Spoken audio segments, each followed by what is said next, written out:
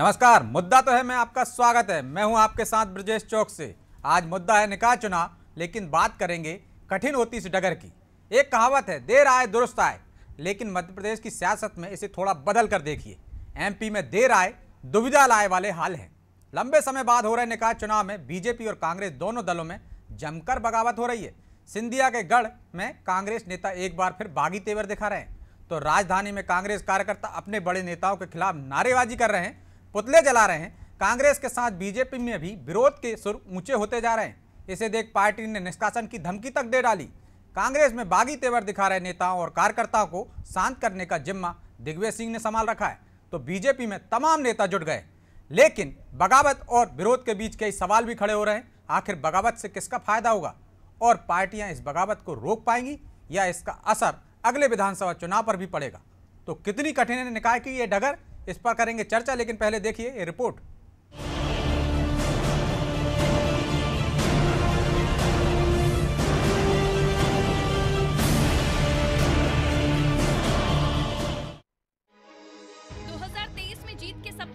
मध्य प्रदेश कांग्रेस निकाय चुनाव में उतरी है, लेकिन कांग्रेस की मुश्किलें कम होने का नाम नहीं ले रही हैं। मध्य प्रदेश जैसे हालातों से जूझ रही महाराष्ट्र सरकार के सियासी घमासान को रोकने की ज़िम्मेदारी एमपी के पीछे सचिव कमलनाथ को मिली है। लेकिन उनके अपने प्रदेश में पार्टी के अंदर घमासान बचा हुआ है। निकाय चुनाव से पहले पूरी कांग्रेस बिखरती नज़र आ रही है।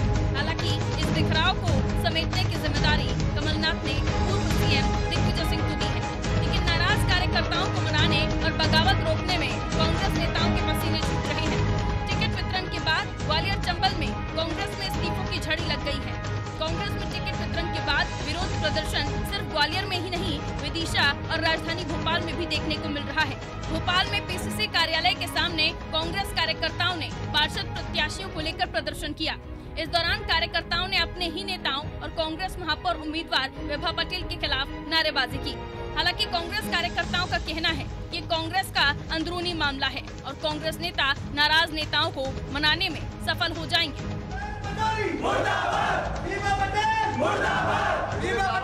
हालात हमारे यहाँ पे बिल्कुल सही हैं, सब संतोष है यहाँ पर। जो असंतुष्टि है, वो वहाँ पर है भाजपा के अंदर। जितने लोग नाराज़ थे, उनको मना लिया गया है, उनसे बात कर दी गई है। इसके बाद भी अगर कोई नहीं मानेगा तो कार्रवाई पार्टी करेगी। लेकिन हमारे जितने लोग हैं, वो सबके सब उनसे चर्चा हो चुकी है। आज भारतीय जनता पार्टी को सोचना होगा कि वो दूसरों के घरों में देखने के बजाय अपने घर की चिंता कर ले और अपने बागियों को मनाने की कोशिश करे हालाँकि बगावत तो बीजेपी में भी देखने को मिल रही है, लेकिन बीजेपी में नाराज़ नेताओं और कार्यकर्ताओं के साथ समन्वय स्थापित करने का प्रयास शुरू हो चुका है। बीजेपी नेता जहाँ नेताओं के साथ रहने की अपील कर रहे हैं तो दूसरी तरफ़ पार्टी से विरोध करने पर कार्रवाई किए जाने की चेतावनी भी दे रहे हैं।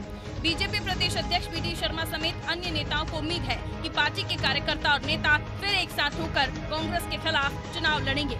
उधर बीजेपी नेता कांग्रेस में मचे घमासान पर चुटकी भी लेते नज़र आ रहे हैं। भारतीय जनता पार्टी की व्यवस्था है। व्यवस्था में हम समन्वय स्थापित करने का प्रयास करते हैं कि सभी लोग इस दिशा में समन्वय के साथ प्रयास है और कहीं एक आध जगह नहीं होता है तो भारतीय जनता पार्टी का संविधान है। संविधान अपने अनुरूप काम करता है। कांग्रेस के वरिष्ठ नेता कमलनाथ जी महाराष्ट्र जा रहे हैं लेकिन पूरे प्रदेश में जगह जगह कांग्रेस के कार्यकर्ता, नेता शुद्ध हैं, वो इस्तीफा दे रहे हैं। कहीं ना कहीं समन्वय की कांग्रेस में ही कमी है, भले ही वो कहें कि वो समन्वय बनवाने वहाँ जा रहे हैं। अपना घर संभालना रहा दूसरे का घर संभालने की बात करेंगे तो निश्चित रूप से ऐसे दृश्य हमारे सामने ज़रूर आने। बीजेपी कांग्रेस की बगावत के बीच खबर ये भी आई कि भोपाल से आम आदमी पार्टी के प्रत्याशी ने चुपके से अपना नामांकन वापस ले लिया है, जिसके बाद अब लड़ाई बीजेपी और कांग्रेस के बीच है। लेकिन फ़िलहाल दोनों दल खुद के कार्यकर्ताओं से लड़ाई लड़ते नज़र आ रहे हैं। बहरहाल देखना होगा कि क्या बीजेपी और कांग्रेस के नेता अपने नाराज़ कार्यकर्ताओं को मनाने में सफल होंगे या फिर दोनों दलों को ये बगावत भारी पड़ने वाली है। Bureau report, Anadi TV.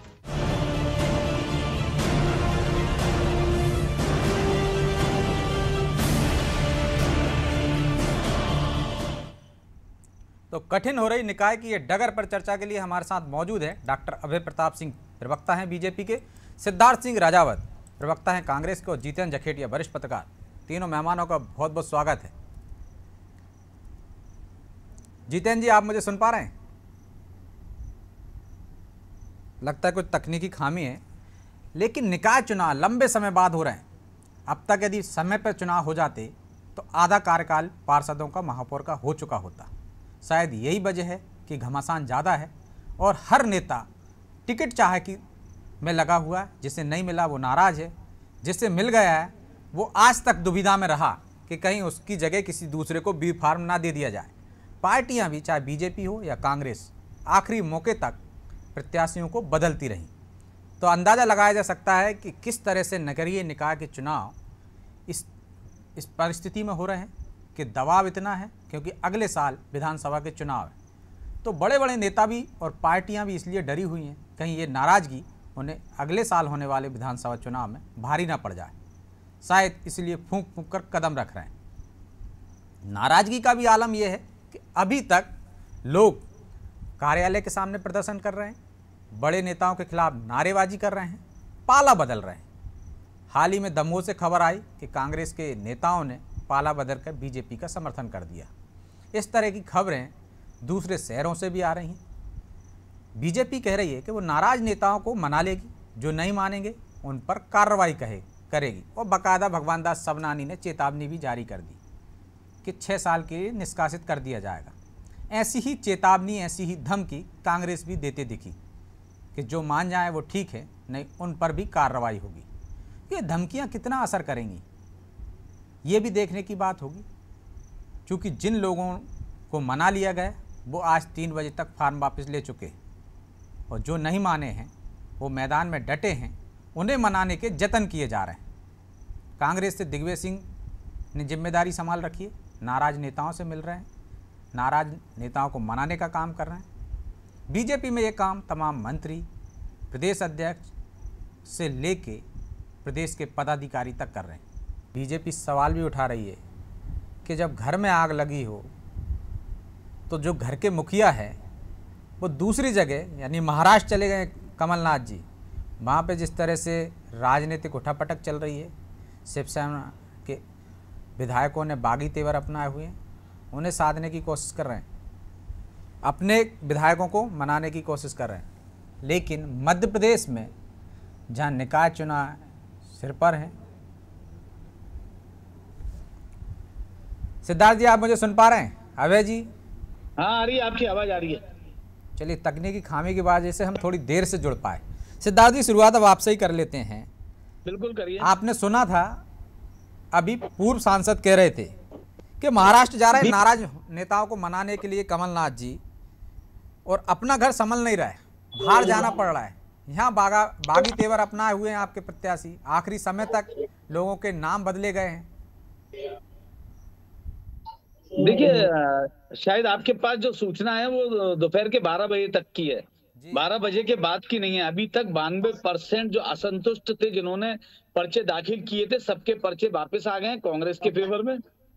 और हमने और जो नए बचे लोग हैं उन्होंने कांग्रेस को समर्थन दे दिया है। और वो कंधे से कंधा मिला के कांग्रेस के प्रत्याशी के साथ काम करने के लिए तैयार हो गए और हमारे यहाँ पास तो दतिया से हाल ही में खबर आई है। कि कांग्रेस के जो पूर्व पार्षद थे कांग्रेस के कई नेताओं ने बीजेपी के समर्थन में अब पाला बदल लिया है समर्थन दे दिया है। नरोत्तम मिश्रा के साथ खड़े नज़र आ रहे हैं। ब्रजेश जी कहाँ से? दतिया से। जी? दतिया से खबर आ रही है कि कई कांग्रेस नेताओं ने बीजेपी का समर्थन कर दिया है। देखिए, हमारे माननीय कमलनाथ जी ने पहले भी कहा था, जो टिकाऊ हैं, वो बचेंगे, जो बिकाऊ हैं, उनको तो जाना ही था। तो जो सेकेंड हैंड माल है, वो तो जा ही रहा है।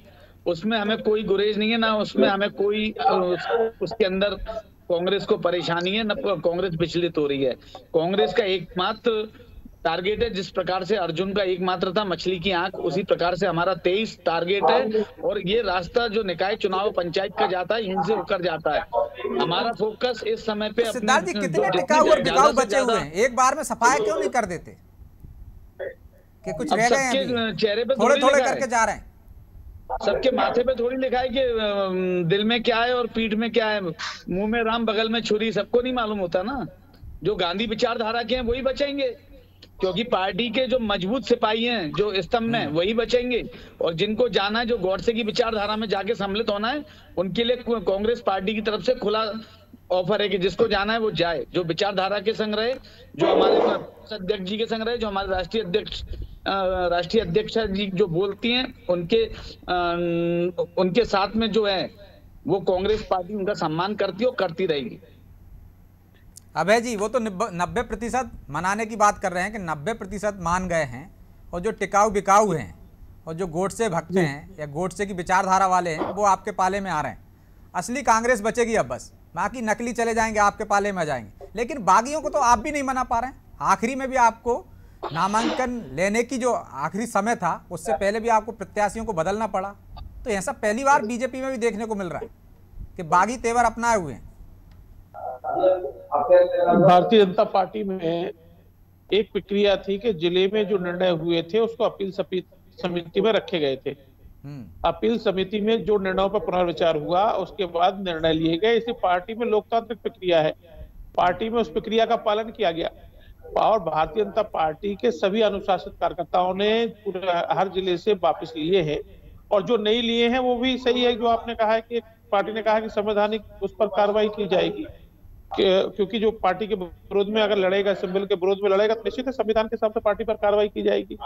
इसलिए मैं आपसे यही कह रहा हूँ कि ये तो कह रहा है कि इनकी असली कांग्रेस बचेगी। जहाँ कांग्रेस में शपथ पत्र मांगे जाते हो कार्यकर्ताओं से शपथ पत्र भरवाए जाते हो जहाँ इतना बड़ा संकट हो विश्वास का वहाँ कार्यकर्ता क्यों टिकेगा?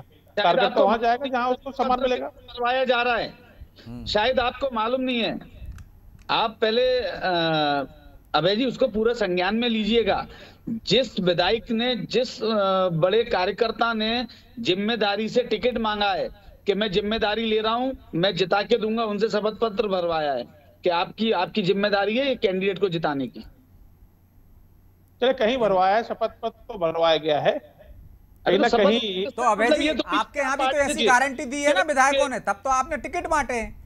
वो शपथ पत्र भरवा रहे हैं। आप मौखिक गारंटी ले रहे हैं कि जिता कर देंगे इसलिए आपने विधायकों को कहने पर टिकट दिए ब्रजेश जी भारतीय जनता पार्टी में कमल का फूल गारंटी होता है हमारा बूथ अध्यक्ष तभी होता है। हमारा हम हमारा पाल- वहाँ बूथ की समिति वहाँ के पन्ना प्रमुख गारंटी लेते हैं। भारतीय जनता पार्टी का जो प्रत्याशी आता है उसको जिता कर देते हैं। हमारी गारंटी लेने वाले बूथ पर बैठा कार्यकर्ता होता है। गारंटी का। भारतीय जनता पार्टी के कैंडिडेटों का गारंटी लिए। भिंड कलेक्टर ने उस पर आज माननीय हमारे गोविंद सिंह जी नेता प्रतिपक्ष ने उस पर ऑब्जेक्शन उठा के और लेटर भी लिखा है मुख्यमंत्री को और चुनाव आयोग को। ये ये अभी से शुरू हो गया प्रशासन पे आरोप लगाना। ये ईवीएम पे प्रशासन पे आरोप लगाने लगते हैं जब इनके हाथ से बागडोर निकल जाती है। इन्हें समझ में आ गया आ गया कि नगर नगरीय निकाय चुनाव इनके हाथ से निकल रहे हैं तो ये अभी से रोना रोना शुरू कर दिया इन्होंने ईवीएम प्रशासन का। दोनों ही गारंटी ले रहे तो एक दूसरे की गारंटी पे सवाल क्यों उठा रहे हैं? भाई गारंटी तो दोनों ही दल ले रहे हैं ना दोनों ही दल के नेता ले रहे हैं फिर एक दूसरे पे सवाल उठाने का मतलब ही नहीं है। पर जी हमारे ले लिया, आपने मौखिक गारंटी ले ली। है, राजेश जी। जी। जी जितेंद्र जी। सुन पा रहे हैं? जी हाँ बोलिए जी। मूल मुद्दा दोनों दलों में अधिकृत प्रत्याशियों के खिलाफ हुई बगावत का है। कांग्रेस में तो ऐसा होता रहा है इसलिए कोई आश्चर्य की बात नहीं है। कांग्रेस में कई बार बगावत हुई और बागी प्रत्याशी स्थानीय निकाय के चुनाव में पंचायत के चुनाव में मैदान में उतरते रहे हैं। लेकिन भाजपा में इस समय जिस तरह की बगावत हुई वो अपने आप में आश्चर्य वाली बात है। और ये आश्चर्य उस समय कम हो जाता है क्योंकि अब भाजपा में बड़ी संख्या में कांग्रेस के लोग पहुँच चुके हैं।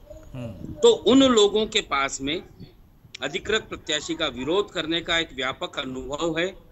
तो इसीलिए यह समस्या भाजपा में इस बार पैदा होकर सामने आई है।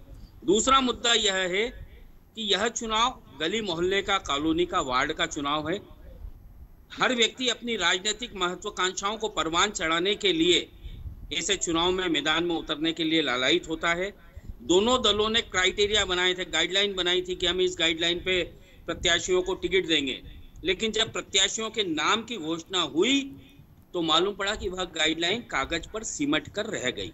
कोई भी दल उस गाइडलाइन का पालन नहीं कर सका। दोनों का लक्ष्य एक ही है जिताऊ चेहरा हो अब यहाँ बिकाऊ बाद में हो जाए तो उसकी कोई गारंटी कोई भी दल नहीं ले सकता है। लेकिन हर दल ने अपराधी हो साठ साल का पचास साल से ज़्यादा उम्र का हो या चार बार पाँच बार का पार्षद हो तो उसे भी केवल इसलिए टिकट दिया क्योंकि वह चिताऊ चेहरा था। ठीक है। अभय जी क्या जो कांग्रेसी आ गए उसके कारण ये सब हालात बन गए बीजेपी में जिस तरह जितेंद्र जी सवाल उठा रहे हैं? और जो गाइडलाइन थी आपकी जब प्रत्याशियों के नाम आए सामने तो धरी के धरी रह गई कागज़ पे। कहा रह गई? ब्रजेश जी ये भारतीय जनता पार्टी है। अगर जिलों में कहीं पर पार्षद को टिकट देने में अपराधियों का कहीं नाम आ गया तो अपनी समिति में अगर लोगों ने उसको ध्यान में लाया तो हमारे प्रदेश नेतृत्व ने उन लोगों के टिकट काटे। ये भारतीय जनता पार्टी में ही संभव सिंह क्यों कह रहे हैं कि पन्ना में क्यों नहीं काटा आपने टिकट? क्योंकि वो प्रदेश अध्यक्ष ने दिलवाया अभय था। जी अभय जी जब टिकट दिए तो टिकट देने वाले भी भाजपा के ही नेता थे। वहाँ कांग्रेस के नेता नहीं आए थे टिकट देने। हाँ मैं ये ये यही आपसे कह रहा हूँ कि चुनाव की प्रक्रिया- आज 22 तारीख थी तीन बजे तक बी फॉर्म जमा होने थे सिंबल दिए जाने थे। भारतीय जनता पार्टी ने उसके पहले स्क्रूटनी कर कर उन लोगों को जिनको क्योंकि साढ़े छह हज़ार छह हज़ार पाँच सौ सात पार्षदों पर पद पर चुनाव हो रहे थे बड़े संख्या में पूरे प्रदेश में चुनाव है। तीन हज़ार सैतालीस स्थानों पर है। साढ़े छह हज़ार लोगों के नामों की छटनी करना उनमें जो नाम गलत आए थे उसकी अपील तो की गई। आपकी तो इतनी बड़ी पार्टी है पन्ना प्रमुख हैं पेज प्रमुख सबसे हैं बड़ा दल है, हर बूथ पर आपके आदमी हैं और बकायदा संभागीय समिति बनाई थी नीचे से आपने नाम मंगाया तो नीचे से ऊपर तक कैसे आ गए? तो वही तो मैं आपसे कह रहा हूँ जहाँ अगर नीचे किसी ने वो दिया इसी तो अपील समिति बनाई गई। कि अपील करिए अगर आपके साथ किसी के साथ गलत हुआ है कोई गलत निर्णय हुआ है नीचे तो? अपील समिति ने प्रदेश में निर्णय लिया है। तो यही तो लोग कहना चाहते हैं तो कि जिला और संभाग स्तर की समितियों का हाथ अपराधियों के साथ था? इसीलिए उनके नाम घोषित किए लेकिन अभय जी फिर पन्ना में क्यों नहीं बदला? एक आदमी को और छोड़ दिया आपने जिस वजह से दिग्विजय सिंह जी को मौका मिल गया है कि वहाँ प्रदेश अध्यक्ष का क्षेत्र है इसलिए वहाँ नहीं है आपने प्रत्याशी बदला। आपराधिक पृष्ठभूमि वालों को दे दिया आपने वहाँ। पूरा परिवार अपराधी है। इंदौर को लेकर तो पूरे प्रदेश में गूंज हुई है। प्रदेश तो अध्यक्ष बदल दिया ना, जी। भोपाल और इंदौर में बदल दिया। इंदौर में भी बदले गए और जहाँ तक दिग्विजय सिंह जी के दिग्विजय सिंह जी के, बयान का पर आप कह रहे हैं उन, उन, उन, उनके उनके क्या किस संबंध में कब क्या बयान आ जाए कब ट्वीट आ जाए उसकी कोई कोई जो है आपने और हमने देखा है एक सवाल का और जवाब दे दीजिए जो कांग्रेस के लोग आ गए हैं उनके वजह से ऐसे हालात बन गए हैं? क्योंकि बीजेपी में पहली बार ऐसा देखने को मिल रहा है जिस पर सब लोग आश्चर्य जता रहे हैं। खुद जितेंद्र जी ने भी कहा कांग्रेस में तो होता रहता है आप क्या हो रहा है पहली बार। तो यही माना जाएगा जो कांग्रेस से आए उन्होंने कर रखा है यहाँ पे। अभय जी। जी एक बार मैं सुन नहीं पाया। कांग्रेसी संस्कृति आ गई क्या? कांग्रेस से जो लोग आए हैं इस वजह से आपके यहाँ ऐसे हालात बन गए? पहले नहीं थे। ब्रजेश जी मैं आपसे फिर कह रहा हूँ पूरा लोकतांत्रिक तरीका से अपनाया गया अपील समिति भी दी गई टिकट बटने के बाद फिर टिकट वालों जो जिन्हें टिकट दिए गए उनके खिलाफ कोई अगर जाना चाहता है तो उसका अवसर दिया गया। उसके बाद पार्टी ने निर्णय किया। किस दल ने इस तरह की प्रक्रिया अपनाई मुझे बता दें आप? किस दल ने इतना मौका कार्यकर्ताओं को इतना मंच दिया भाई जी ये तो मानिए कि गलती आपके सिस्टम में हुई है। ठीक है जितेंद्र जी तो गलती हो गई तो सुधार भी तो हो गया। अब और इससे ज़्यादा क्या कर सकते हैं? भाई मान ली गलती हो गई तो सुधार हो गया। लेकिन सिद्धार्थ जी ग्वालियर चंबल से तो पूरी फौज चली गई थी बीजेपी में। फिर वहाँ क्यों बागी बचे रह गए आपके जो अब भी बगावत हो रहे हैं? या चंबल के पानी में ही बगावत है? बागी बनते रहते हैं वहाँ। नहीं कोई सानी है चंबल का पानी है। ये जिसको पी के लेकिन अन्याय के खिलाफ बगावत करते हैं वो। तो कहीं ना कहीं आपकी पार्टी में अन्याय तो नहीं हो रहा उनके साथ? देखिए ये तो पूर्व विदित था कि सिंधिया की बी टीम एक स्लीपिंग बोर्ड में पड़ी हुई है। ये पूर्व विदित था और इसकी रिपोर्ट बन के तीन चार माह पूर्व माननीय कमलनाथ जी के पास आ गई थी। पर हम वेट एंड वॉच की पॉलिसी के तहत इंतज़ार कर रहे थे कि ये अपना कब का पैतरा बदलेंगे कब क्या करेंगे और वो बात सामने आ गई।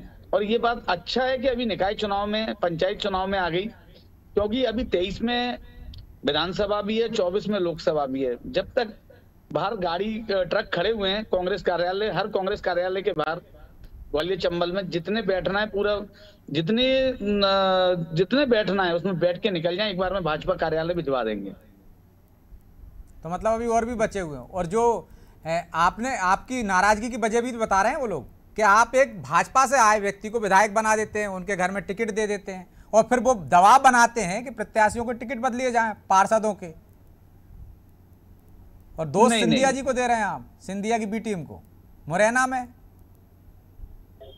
नहीं नहीं देखिए जो हमारे विधायक हैं सतीश सिकरवार जी उन्होंने पूरी आस्था के साथ में पार्टी की सदस्यता ली थी और वो आज तक उस आस्था को निभा रहे हैं। पर जो लोग आस्थावान बनते थे जो गांधी विचारधारा की बात करते थे, जिनको माननीय कमलनाथ जी ने हर प्रकार से नवाजा, उन पे विश्वास किया। और उनको जब जो समय आया, उनको जो चीज़ चाहिए थी, अगर टिकट चाहिए था, टिकट दिया, उपचुनाव में टिकट दिया। अब वो अपनी मनमानी करके, ब्लैकमेलिंग करके और माननीय कमलनाथ जी को ब्लैकमेल करके और कुछ दबाव बनाना चाहते हैं तो माननीय कमलनाथ जी, अगर इतना ही बड़ा दबाव झेलना होता तो ज्योतिराज सिंधिया का तभी झेल लेते तो सरकार बच जाती। पर सिद्धांतों के से कभी भी माननीय कमलनाथ जी कोई भी समझौता नहीं करते क्योंकि उनकी आस्था पार्टी के प्रति है, उनकी आस्था कार्यकर्ताओं के प्रति है। इसलिए माननीय कमलनाथ जी ने साफ़ बोल दिया ब्लैक मेलिंग बिल्कुल नहीं चलेगी। अगर आपको कार्य करना है, कार्य कीजिएगा। हाँ आपको संगठन में उससे बड़ी तवज्जो दी जाएगी। पर अगर ब्लैकमेलिंग करेंगे तो आप घर बैठ जाओ। ठीक है, ब्लैकमेलिंग करने वालों को बाहर कर देंगे कमलनाथ जी। जितेंद्र जी, क्या जो निकाय चुनाव चल रहे हैं जिसमें जो नाराज़गी हो रही क्या आपको लगता है कि इसकी वजह से 2023 का जो मिशन है वो मुश्किल में पड़ सकता है? या असर वहाँ तक देखने को मिलेगा? दोनों ही दलों को? इसका खामियाजा 2023 में उठाना पड़ेगा विधानसभा चुनाव में? जितेंद्र जी। जी। जितेंद्र जी क्या इस नाराज़गी का खामियाजा 2023 के विधानसभा चुनाव में उठाना पड़ेगा दोनों राजनीतिक दलों को? निश्चित तौर पर यह जो चुनाव है, यह 2023 के चुनाव का सेमीफाइनल है और इस सेमीफाइनल से ही यह निश्चित तौर पर नज़र आ जाएगा कि 2023 किसके कब्जे में जा रहा है। बार बार कांग्रेस जो है, सिंधिया की B team, C team, D team करते हुए अपने आप के दामन नहीं बचा सकती। जब आपको मालूम है, सिंधिया की बी टीम है तो आप पहले से एक्शन क्यों नहीं लेते? किसका वेट एंड वॉच कर रहे थे आप? कि विद्रोह हो जाए, बगावत हो, एक पॉलिटिकल एटमोसफियर क्रिएट हो और फिर आप एक्शन लें। ऐसा नहीं चलता है। यह स्पष्ट है कि कांग्रेस में अभी भी संगठन ग्रास रूट लेवल तक खड़ा नहीं हो सका है। कमलनाथ को एक अच्छा संगठन संगठक माना जाता है लेकिन वे संगठन को खड़ा नहीं कर सके हैं और उसी का परिणाम ये पूरी बगावत के रूप में नज़र आ रहा है। और कम से कम कांग्रेस को अपने कार्यकर्ताओं पे अपने नेताओं पे भरोसा तो करना चाहिए। बहरहाल समय इजाज़त नहीं देता इसलिए चर्चा को विराम देंगे। मतलब... आप तीनों मेहमानों का बहुत बहुत धन्यवाद चर्चा में शामिल होने के लिए। तो निकाय चुनाव की डगर भले ही कठिन दिख रही हो, लेकिन इसका असर 2023 में भी देखने को मिलेगा, क्योंकि ये नाराज़गी इतनी जल्दी दूर होने वाली नहीं जिस तरह से दोनों राजनीतिक दल अपने नाराज़ नेताओं, कार्यकर्ताओं को मनाने का जतन कर रहे हैं और आखिर में उन्हें चेतावनी तक जाना पड़ा, धमकी तक देना पड़ी कि कार्रवाई कर दी जाएगी तो अब ये देखना होगा कि इस धमकी का असर क्या होता है। यदि बागियों की संख्या ज़्यादा रही तो नुकसान उसका 2023 में भी उठाना पड़ सकता है। मुद्दा तो है, मैं फ़िलहाल इतना ही। मुझे दीजिए इजाज़त और आप देखते रहिए अनादि टीवी। नमस्कार।